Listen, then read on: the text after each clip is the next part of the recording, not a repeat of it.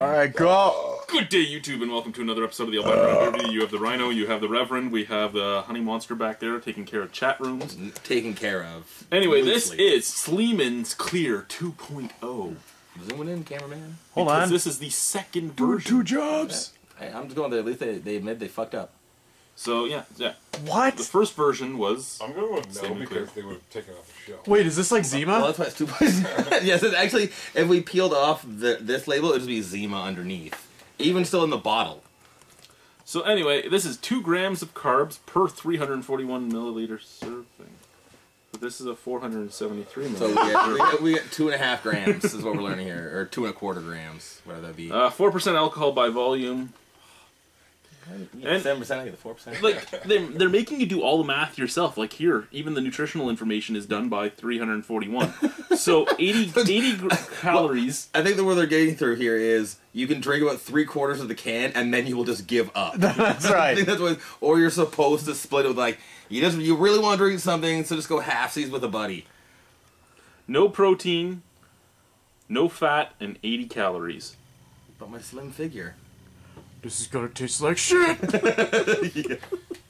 Yeah, that, fuck, I had uh, one of those like Gatorade Fucker. 2.0s or whatever, like the Gatorade G2. Yeah. It was the blurst thing ever. Because really Gatorade's not How the best it, how drink. could it be? ho- How would it be bad? It's Gatorade. Dude, trust me, it's bad. It's, it's like the same, like, you know, if you were drinking like regular pop and then you have a diet pop, you'll notice the difference. Yeah. Same thing. And I thought it was like, I mean, it's Gatorade. How can you fuck up Gatorade? You just can't. It's Gatorade. It's fucking Yeah. sugar color water. Yeah. That's it. Like, you can't really fuck this up. And then I learned, yeah, you can when you take out the sugar. like, it, it is shit. Well, basically at that point, it's got food coloring and, and water. yeah. Food So- and I coloring, think, I think some sweat from Usain Bolt. water, and, and minerals. That's it. Mm. So we got some It's lovely, yellow. Lovely, lovely, lovely pea. It's not clear at all. has a little bit of head Yeah. A lot of carbonation. yep It's super fucking bubbly. Let's see this. oh little- that smells beautiful Does it smell like Guelph? you know what it kind of smells like and let's see if it's out of the can too Hamilton. it smells like piss water and the starch from noodles boiling Yeah, the way they'll get like stuck on your fork. Like when Spin it. you like when you cook Kraft Dinner, that smell Yeah, that yeah, Kraft yeah. dinner puts up in the air. Mm, yeah. Yeah. Mm, nice and starchy and pissy. Starchy and pissy. Good. Smells Good like my son my, peed in a uh, pot. A year and a half, fucking, or a month and a half off. Right with another winner. Let's go. Gross. Yep.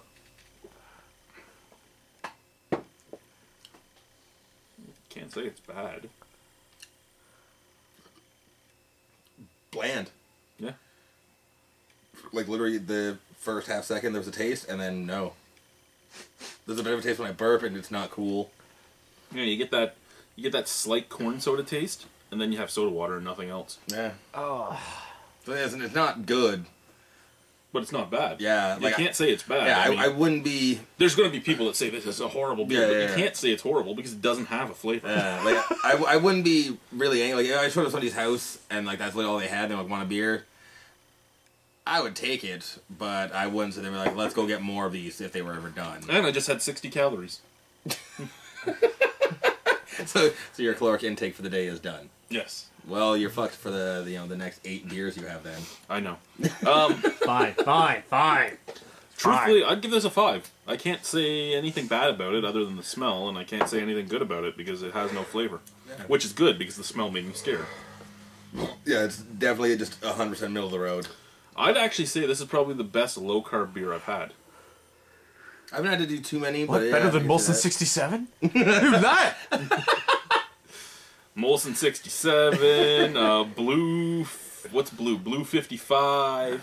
The Bud one is Select 55. What else do we have? We have Amsterdam 64. we have PC low carb. The Michelob Ultra. Michelob Oh Ultra. yeah, the McLob. Uh, yeah, like of all of them, this is probably the best one I've had. We should actually do a blind taste test of the low carb beers. Yeah. That's where they're like slagging the rest of them. Like these are the worst thing there. This one's pretty good, and this one will probably lose. Like this is the blurs.